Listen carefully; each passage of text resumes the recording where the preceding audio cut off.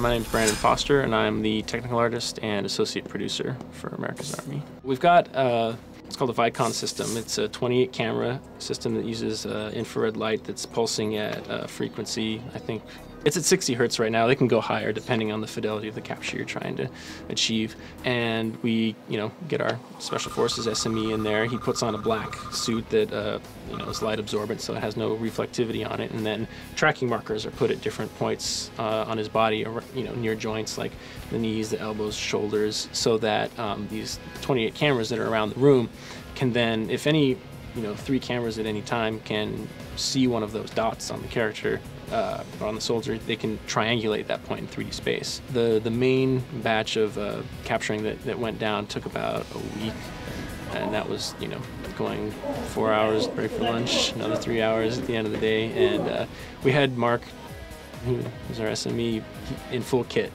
doing all these things. So he had on his um, uh, vest with the certain plates in it and, and everything. So we had, uh, you know, he, his movement was restricted exactly the way it would be uh, with all of his gear on because we didn't want someone twisting around and doing stuff that they wouldn't be able to do with this this rigid armor on them. So um, he, I, I think he saved all that up mentally for uh, when we all came after the VCT because we, we made him do stuff that you know a, a real soldier would never do, but you know, because it's a video game, people are going to try to do things that they necessarily shouldn't do. Like we were asked him, like, okay, we need you to reload the saw while you're prone and unsupported. He's like, why would I ever do that? It's like, you know, uh, a, a, player might do that. You know, they might not deploy their bipod and they have to reload and they don't do that first. So because of that choice, they have to do that. And he's like, God, you know, like getting in there, slapping the box in,